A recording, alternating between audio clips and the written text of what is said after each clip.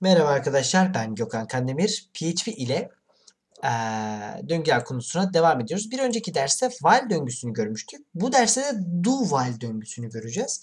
Peki şimdi bu iki bu iki döngünün birbirinden farkı ne? Onu bir irdeleyelim döngüsü dedik. Şimdi while döngüsünde ne yapmıştık? Neydi durum? Diyorduk ki bir tane sayı değişkenimiz olsun. Eşittir bunu 10 değeri dedik. Dolar ne demiştik? While demiştik while demiştik. Sayı mesela ona eşit olduğu sürece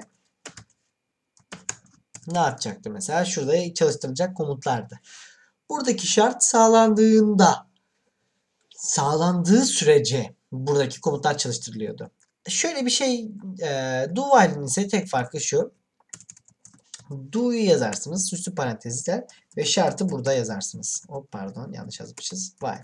Yani diyoruz ki sayı ona eşit olduğu sürece bunu yap gibi bize bir imkan sağlıyor. Peki bu ne işe yarıyor? Onu söyleyelim.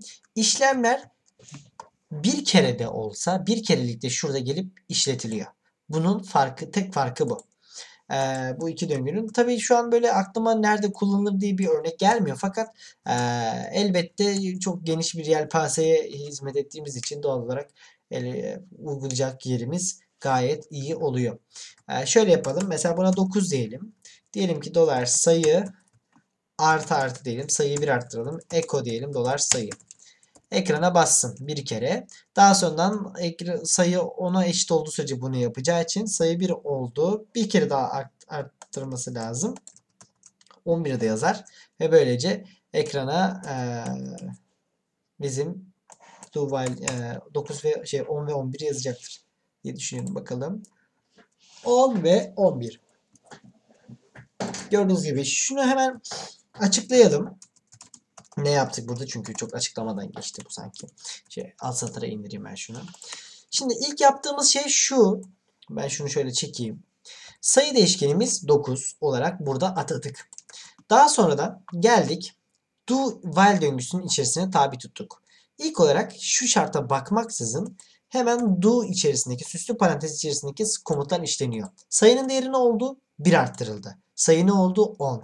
Ekrana 10'u yazdı ve alt satıra indi. Sonra şarta şarta baktı. Sayı ona eşit olduğu o sayı ona eşit mi? Evet. O zaman başa dön. Tekrardan yap aynı şeyi. Do şu kısmı yap yani yap.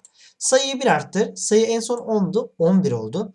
Eko sayı ekrana 11'i bastı ve alt satıra indi. İşte while'dan farkı bu. E, işlemden temel olarak tek farkı işlemlerin en az bir kere yapılmasını sağlayan döngü tipi do while'dır arkadaşlar. Bunların arasındaki fark, tek fark bu. Evet bu derslikte bu kadar. Bir sonraki derste görüşmek dileğiyle. Kendinize iyi bakın. Hoşçakalın.